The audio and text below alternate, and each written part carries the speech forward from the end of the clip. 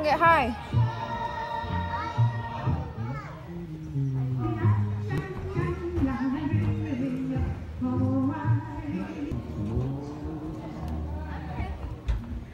Come on, Ken.